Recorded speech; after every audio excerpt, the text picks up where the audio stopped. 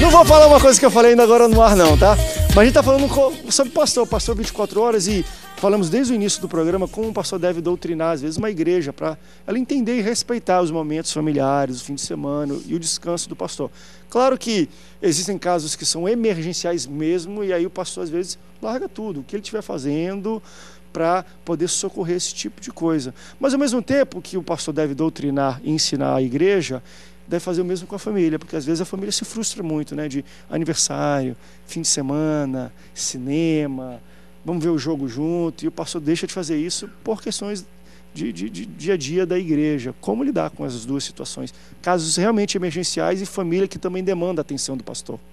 É, eu estava falando, eu, eu, eu até é, no bloco passado eu comecei a falar, é, eu, eu envolvo a minha família.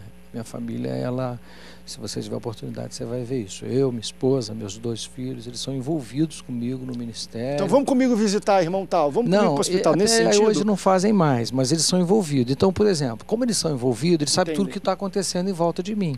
Então, por exemplo, se, eles, se hoje eu estou saindo para algum lugar, ou estou fazendo, eles sabem o que eu estou fazendo, sabem para onde eu estou indo, sabem essas coisas todas, porque eles estão envolvidos. Então, todo o contexto que está em volta de mim, eles sabem. Essa foi uma forma, pastor, que eu encontrei de, de tendo eles por perto, eles eles é, eles observam isso acontecer é, em volta de mim. Então, se eu tiver que sair para uma emergência, eles vão entender, porque eles veem isso de perto. Mas isso não é, é, é esse foi o modelo que eu encontrei, mas eu nem julgo que seja o melhor não, tá, André? Por quê? Porque também gera um nível de estresse. Uhum. No ano passado, por exemplo, no início do ano passado, a minha família estava no nível de estresse alto. E a primeira coisa que eu fiz, eu, eu, eu ainda trabalho no circular, foi transferir o meu escritório para minha casa, para viver perto deles. E eu Nossa, fiquei perfeito. perto deles. Então eu virei um home office, eu sou home office até hoje por conta deles. E aí eu fico perto deles. Isso foi a primeira coisa que eu fiz. E uma outra coisa que eu faço sempre, que vou fazer agora em janeiro de novo, eu sempre viajo com eles, eu fico um mês com eles e, e é só eu e eles. E offline ali, mesmo? É, é, totalmente offline. Isso eu faço todo ano. Ano passado, por acaso, eu fiz 40 dias. E esse ano eu vou fazer, talvez não consiga fazer os 30. Mas no ano passado eu fiz 40 dias. Então é uma outra coisa que eu faço com ele. eles. E outra coisa, por exemplo, meu filho mais velho chegou agora assim, pô pai, vou ver uma casa para a gente ficar 10 dias em tal lugar. Ele pode ver. E aí naqueles 10 dias eu vou, eu vou dar um perdido, eu vou ficar com eles. Eu vou ficar com eles. Então, eles entendem. Aí como é que com isso o que, que passa na cabeça deles? Poxa, quando, quando ele precisa atender uma emergência, ele vai atender a emergência. Mas quando a gente precisa dele perto, ele também está perto. Nós também somos a emergência dele. Que também acabamos sendo a emergência deles. Então eu acabei criando esse modelo. Eu, é, é o que eu volto a dizer nem o considero, pastores, esse o modelo mais adequado em virtude disso, porque também o, o nível de estresse em volta uhum. acaba aumentando muito. Vira um estresse, digamos, familiar. Porque... Deixa de ser um estresse só do não, pastor, e, deixa eu até compartilhar um... Embora eu não contribua nada do, do, do, da, da, gravidade da igreja, eu não, não, permito que ele participe. Porque, porque um grande problema que isso pode gerar, quer ver? Uma coisa que com o tempo também você vai vivenciando. Eu, eu meus irmãos, o Felipe, Tereza, sempre, sempre fomos muito envolvidos com a questão ministerial do meu pai. Vivemos né, de, de frutos, na verdade. Hoje trabalho com Bolsonaro, são frutos dessa questão do ministério. Mas ah, lá em Belém do Pará, é a primeira igreja de Assembleia de Deus do Brasil. Então, o meu pai gosta muito dessa questão da história. Ele começou a entender quem são os familiares, onde vivem, em Fortaleza, Recife, Belém do Pará mesmo, do, dos pastores que antecederam, né, fizeram a linhagem do, dos fundadores da Assembleia de Deus. E uma das coisas que eu, eu percebi, e eu aprendi muito com essa viagem no tempo na história, sem, claro, querer expor nomes e pessoas, mas é que pessoas que a gente vê hoje de liderança fantásticas, principalmente até alguns suecos, né, que foram suecos que começaram a Assembleia de Deus no Brasil, que os seus filhos brasileiros, nascidos no Brasil e tudo, são altamente revoltados com a igreja. Mas assim, não é, não é de, ah, eu não quero ir para a igreja, de nunca quero ver nenhum pastor, ninguém prega, não vale. Por quê? Porque eles viram que a igreja roubou, era, era essas palavras que eu vi até de pessoas maduras. A igreja roubou o meu pai. Roubou, em alguns casos, até matou para eles. A verdade é essa. E hoje ele é revoltado matou, com a igreja e com Deus por causa disso. Por quê? Porque eu não ia para cinema, não ia fim de semana, não tinha almoço, não sei o que. Era igreja, igreja, igreja, igreja, igreja, E aí que aniversário ia para atender gente, não tinha. E você cria fi filhos de pastores. Né?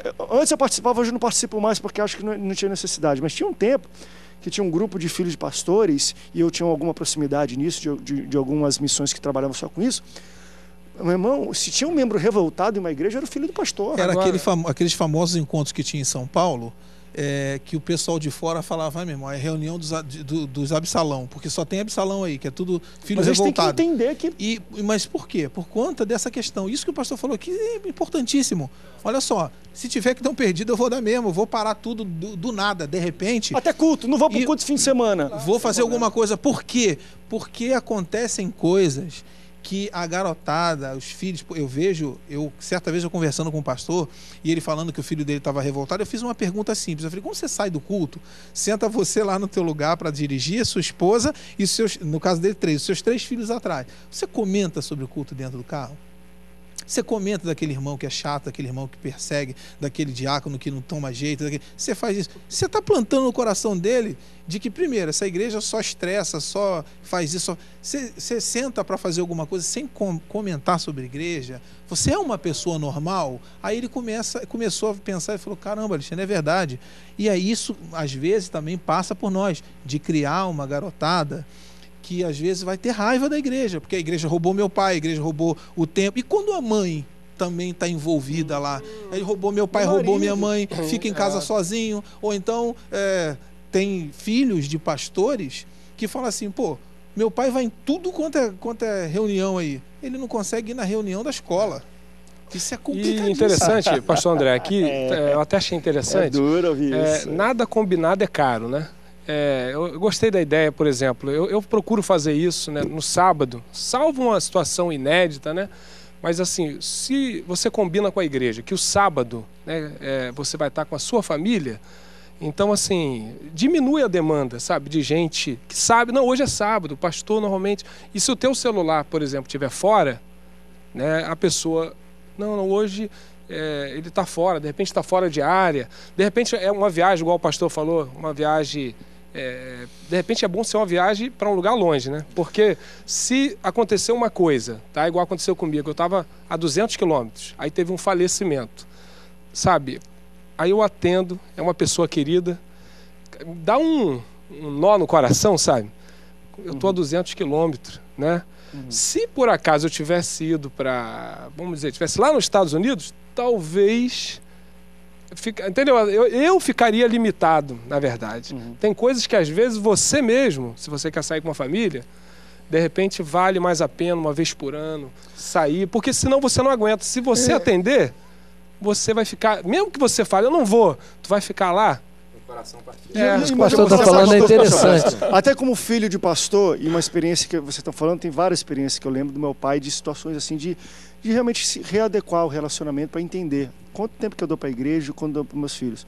Eu lembro uma vez uma conversa com ele, onde parece ser algo bonito que eu falei para ele, mas na verdade é algo que doeu nele, né?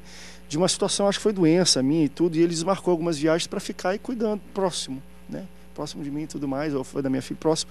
E eu cheguei e falei, poxa, pai, estou tão feliz que o senhor ficou três dias aqui.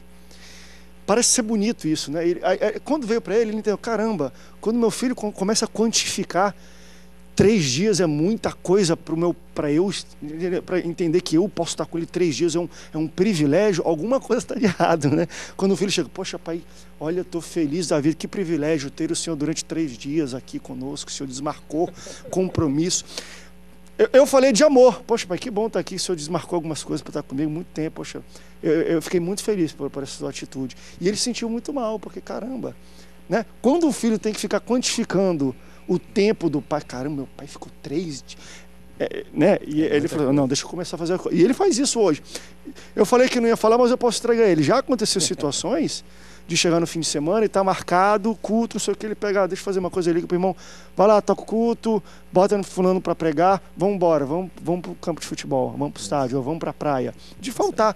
Gente, isso era sensacional, era torcida organizada dentro do carro, é, é porque é bom esses momentos, e né? Se ele vai ficar, né, gente. André, se ele vai ficar, é bom que ele fique ali para curtir o filho, para viver. É, exatamente. Porque tem Desliga aquele pai celular, embora, que fala assim, eu tirei férias. Mas aí ele está é trancado eu tô- dentro de casa, não está fazendo, está perto, mas está longe. Eu acho que assim a qualidade desse tempo que o pai vai ficar com o filho ou o esposo vai ficar com a esposa conta muito, né? Porque às vezes fica perto, mas não, não faz nada de bom também. Pastor Braz estava falando um negócio que me lembrou aqui. Eu tenho, estou até com o celular aqui e, e a gente pode avaliar isso. É, sábado eu quase eu recebo muito zap.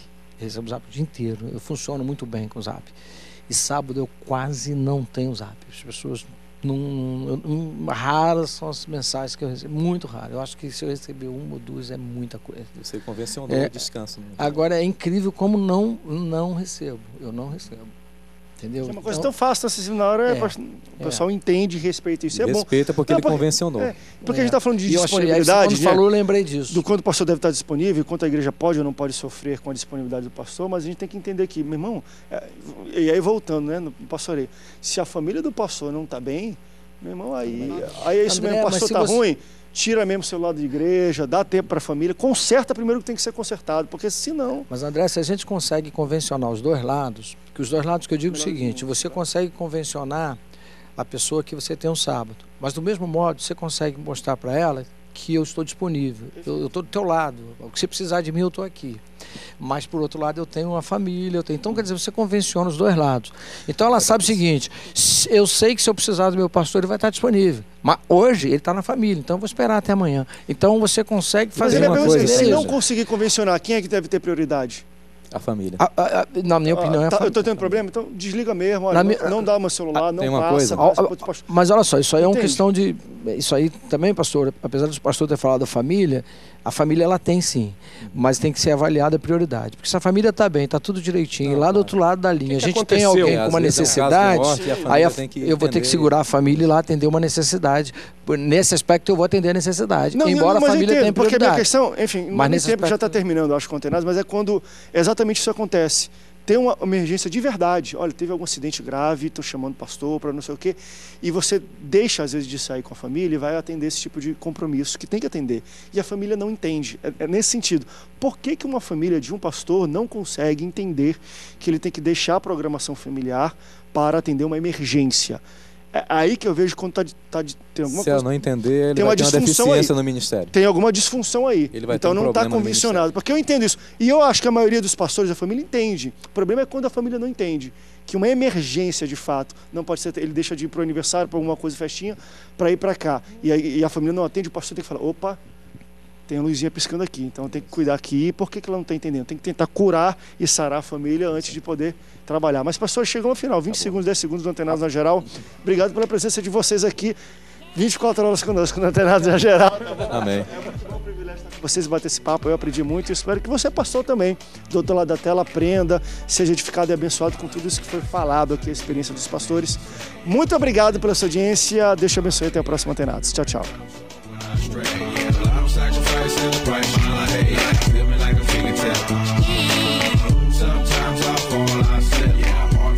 I'm used to. All about my lost stranded no kids they can't reflecting all the things I try my hand at search for the equation to persuade us like you to find a comfort in the zones of closet bones I get loose to. A mountain is Fontaine, spinning in monsoon and grinning this high octane. Explosive how I came, rolling down the hills cause life's a hassle. Encircled by my folly like a most